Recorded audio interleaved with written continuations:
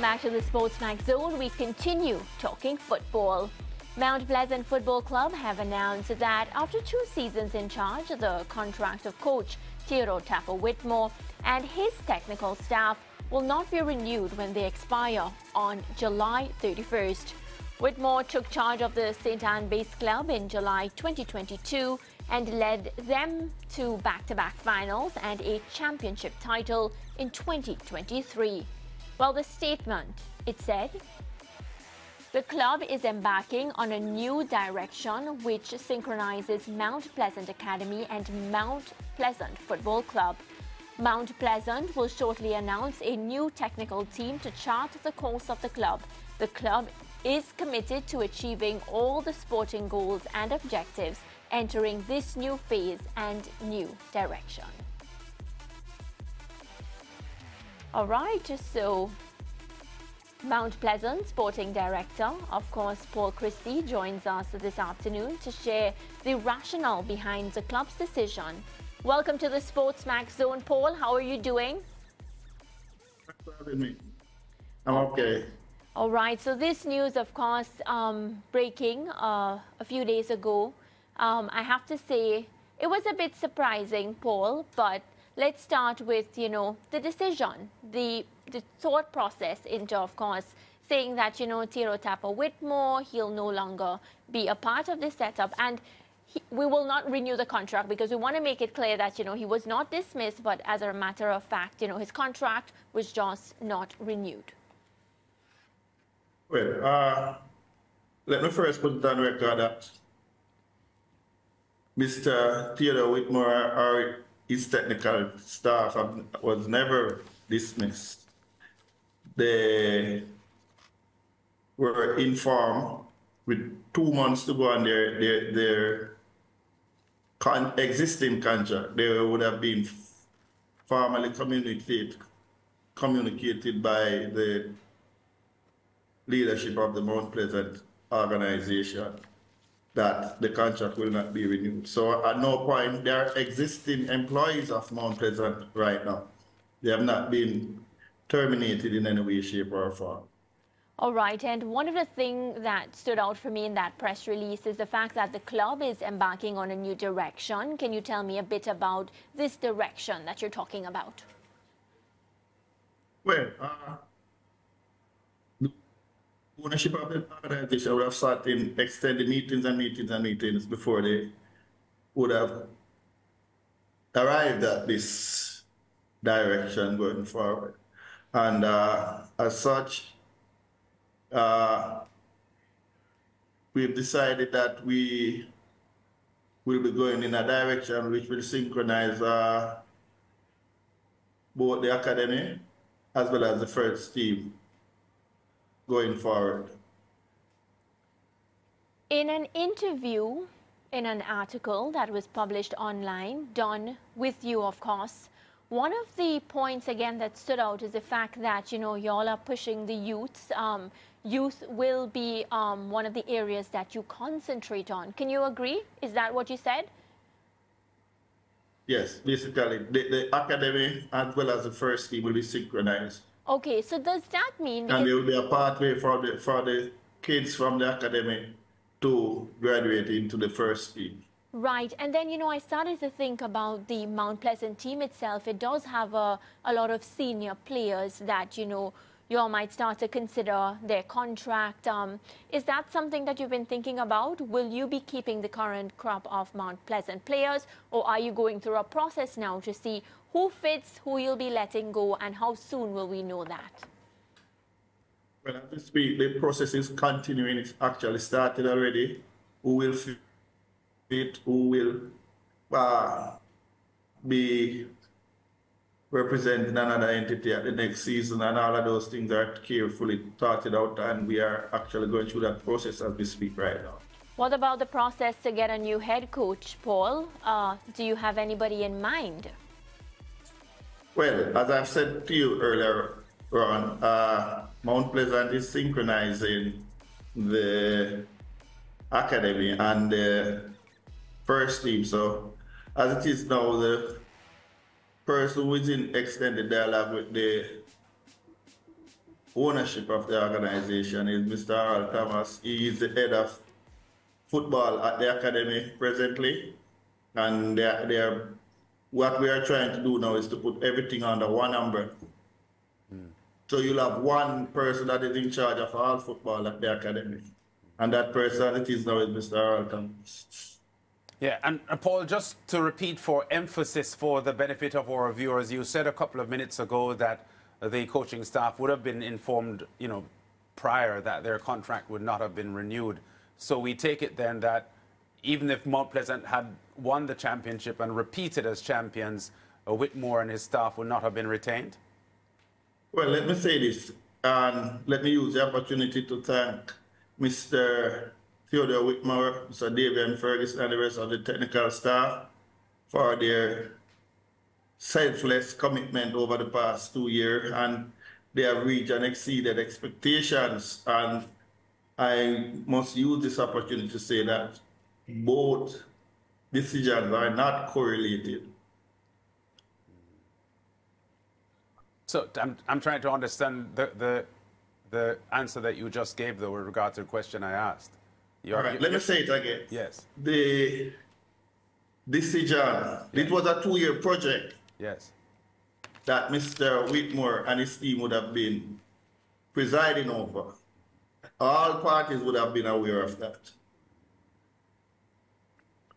At the end of the two-year, coming on to the end of the two-year program, the ownership decided that we, the organization will be going in a different direction. So the fact that Mr. Whitmore would have won or not won the league is totally not taken into consideration. Yeah. None of that is taken into consideration in, the, in making decisions. It's based on economics and synchronizing the academy and the first team to try to have one organization, put it like that. Yeah. All right. Mount Pleasant as uh, as an investment has been to me a kind of a role model that other clubs could strive for. In fact, Mount Pleasant and Cavalier are the only Jamaican clubs that are ranked in the top 100 in the CONCACAF club club rankings. Um, I know you had been previously involved with Dunbeholden, Paul, so I, I don't expect you to speak disparagingly of them or any other team in, in Premier League football. But can you talk to us quickly about Mount Pleasant's organization and the kind of um, stability and investment that it, it represents as a club seeking to, to lift the quality of the domestic game in Jamaica? Well, at Mount Pleasant Football Academy, we are still trying to improve on. I hear that all the time that we are a model. However, we still know that there are a lot of things to be done to improve, to catch up with the global market. And we are trying to, as a group, improve on what we have so that we can get to uh, to be the standard bearer, not just in Jamaica and the Caribbean, but try to fit in the CONCACAF model. We have intentions of being CONCACAF Champions League champion in seven years, and it starts now. And uh, so, in seven years' time, we'd love to see a core that is homegrown in the Champions League, and uh, that's the project that we are working on as we speak. Yeah, that's a, a tall order, though, Paul, because currently they are ranked number 92 in CONCACAF as a club. And um, that's why it's not today, it's seven years' time. And we are aware of the deficiency that is in the existing model. And we are committed as a group to put things in place to just not to just speak about it, but to be about it and continue pivot and pivot until we actually get it right. And we are committed to getting it right. So you're suggesting then, based on what you're saying, Paul, that if fans are impressed with Mount Pleasant right now, they haven't seen anything yet. Seven years from now, it will be more impressive. Yes, and we commit to that, and we are constantly trying to improve.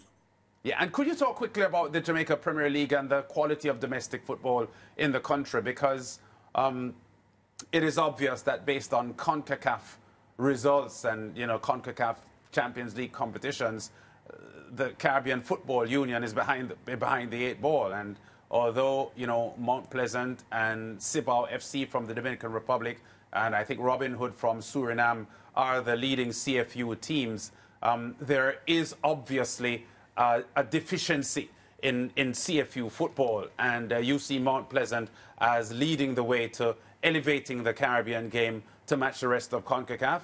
And how are the And- different ways that you'll get that done? Well, we want to take an inclusive approach. If we are competing in CONCACAF, then our market must be in CONCACAF. So it can't be restricted to the borders of Jamaica.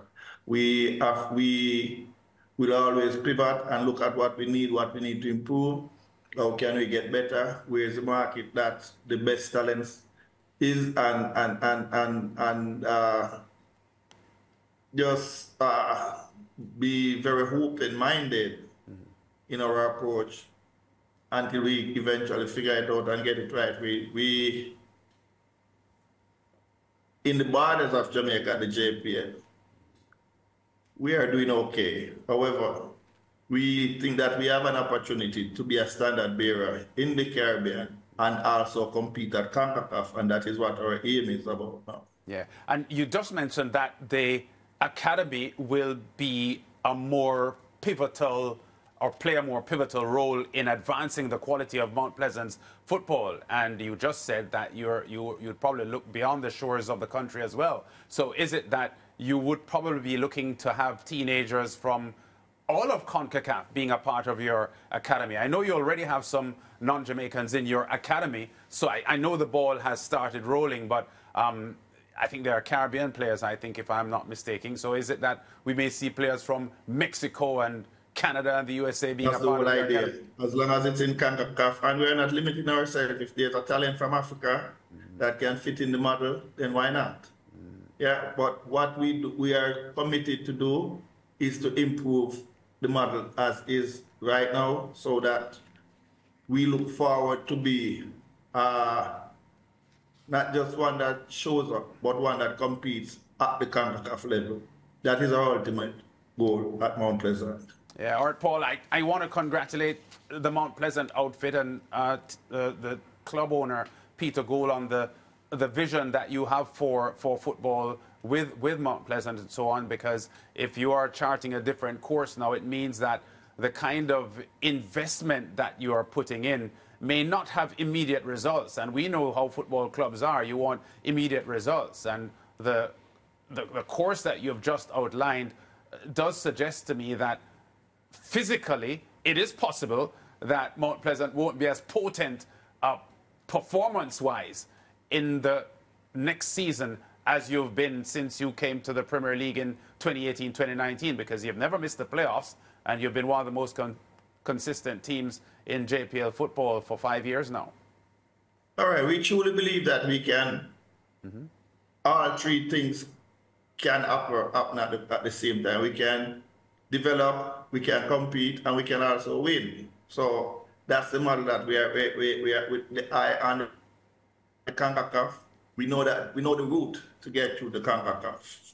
And that is at the forefront of our mind. So in all of the planning and ex- the execution must be centered around how to get there because it does not make a lot of sense if you are planning to get there. You are planning to be there, however, you don't you, you are not charting a path how to get there. So yes, we have the talent that we, that is at Mount Pleasant now. We truly believe that they can compete and will compete, and we are always open to improve in whatever year, areas deemed necessary. Yeah. All right, Paul. Yeah, Paul. Well, thanks for talking to us. We're going to continue this discussion with one of our um, Sportsmax analysts after the break because um, you would understand that from a public standpoint, because of how regularly Mount Pleasant changes its coaches, you've had five or six coaches since you came to the Premier League in, in six seasons. Um, Teagat Davis had two different stints. Uh, Donovan Duckie had been coach. Wally Downs was coach. Nick Eden was coach. Then Theodore Theodore Whitmore uh, becoming the coach. So uh, Mount Pleasant has had a, a track record of changing coaches regularly. So there was a need for us to get an explanation from Mount Pleasant uh, Well- about, about about this move and you know just some clarification about the statement that you released about charting a new course? And what we can say, we are not going to sit here and, and try to own the formula that we have it right. And when we recognize as a group and sit around the table and we realize we, whatever direction we need to pivot and based on the reality that is facing us, then we are prepared, we are open enough to have that discussion at any time for as long as it is it benefits the product, which is the actual football. So we are always open to pivot and as we move forward in a view of getting it right. Paul Christie, thanks for talking to us here on the Sportsmax Zone as we got some insight into Mount Pleasant's current status and its plan for a new technical staff to lift the team forward. Congratulations on the fine work that Mount Pleasant has uh, uh, put out in domestic football since you uh, were elevated to the top flight 2018-2019 and keep up the good work and give our regards to Peter Gould and the rest of the ownership team. Thanks much. Thanks having. Okay, and we'll be back with more on the Sportsmax Zone after this.